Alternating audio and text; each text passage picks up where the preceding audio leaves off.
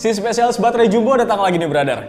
Karena udah terpatri banget ya di otak gua. Kalau misalkan kalian nyari handphone dengan kapasitas baterai yang jumbo, kalian bisa berlabuh ke Vivo Y series. Seperti yang kalian tahu, ada Vivo Y20, kemudian Vivo Y30, dan Vivo Y50 ya. Sama-sama pakai kapasitas baterai gede yaitu 5000 mAh. Selain itu, line up yang lain juga ada nih, Y12, kemudian Y15, um, Y17 dan juga Y19 itu sama-sama juga tuh pakai 5000 mAh. Selain kapasitas baterai yang gede, si pendatang baru ini nih, Vivo Y20s, ini punya RAM dan internal storage yang gede juga. RAM-nya 8 GB, internal storage-nya 128 GB. Gede banget ya. Itu gue rasa cukup deh buat gaming ataupun buat nyimpen banyak aplikasi dan mainin game berat, gue rasa masih oke.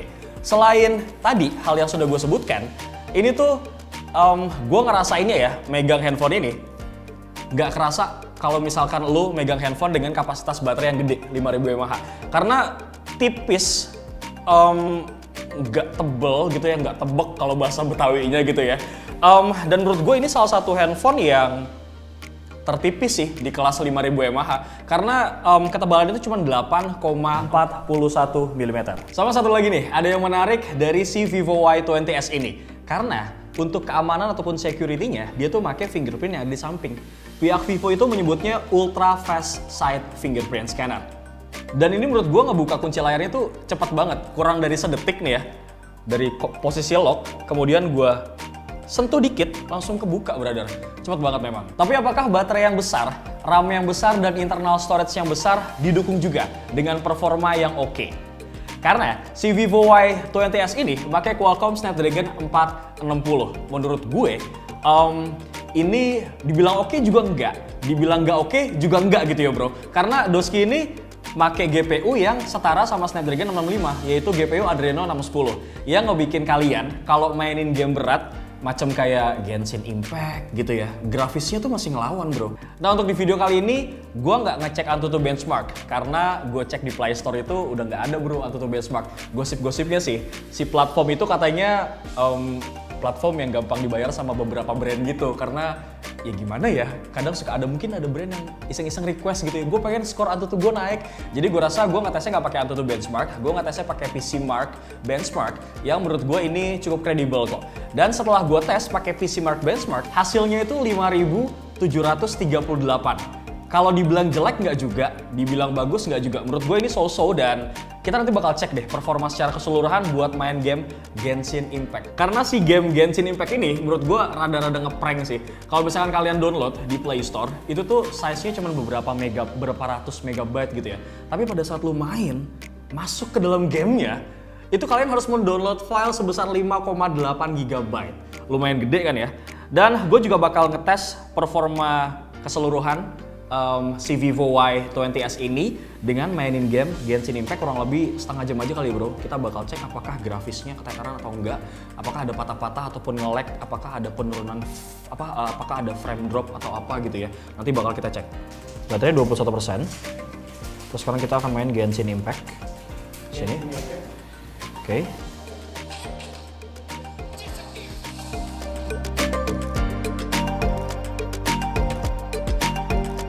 Baiklah, brother.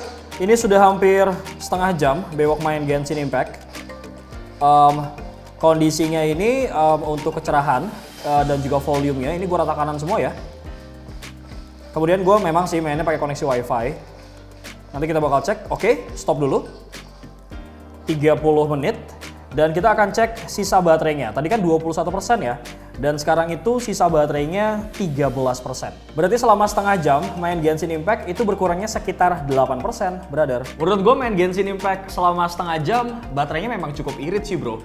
Mungkin ini padu padan antara Vantage OS 10.5, kemudian Android 10, dan satu lagi nih, di Vivo juga ada Ultra Game Mode atau Vivo Multi Turbo 3.0 dan ini juga diimplementasikan di Vivo Y20s. Tapi sebenarnya gue sendiri belum tahu sih apakah si Vivo Y20s ini upgradable ke Android 11. Tapi secara logik ya, um, device yang sudah menggunakan Android 10 itu udah pasti upgradable sih ke Android 11. Baterainya irit, tapi apakah memang pengecasannya juga cepat. Karena seperti yang kalian tahu, kapasitas baterai itu gede, 5000 mAh.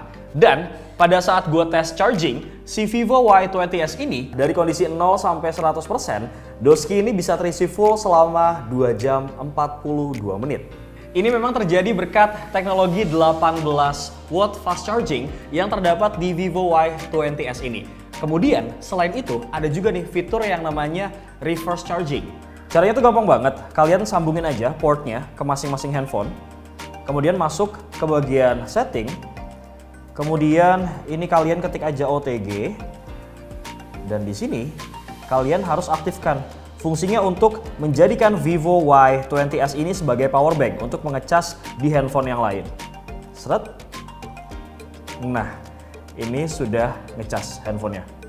Kalian bisa lihat ya, ini handphonenya lagi ngecas, charging.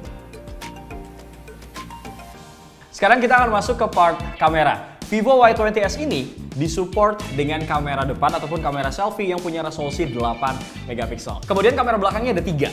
Main kameranya punya kekuatan 13 megapiksel, kemudian lensa makro dan juga bokehnya itu sama-sama 2 megapiksel, including juga dengan flash. Dan berikut adalah beberapa hasil kamera selfie dan juga kamera belakang dari Vivo Y20s. Oke, ini adalah super rekaman video kamera depan Vivo Y20s. Sekarang bakal gue switch ke kamera belakang. Dan ini hasil perekaman video kamera belakangnya. BTW gue pakai resolusi ini 1080 pixel, brother.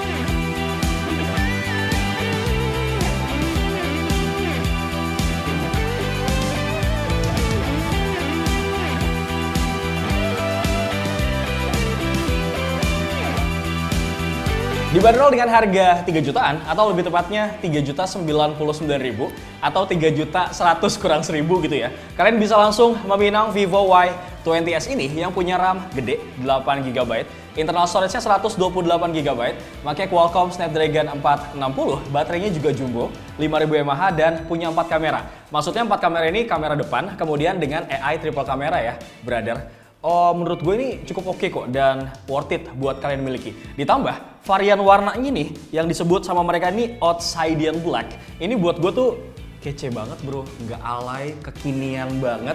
Dan kalau misalkan gue gini-giniin, itu ada kayak efek refleks refleksinya gitu bro tuh.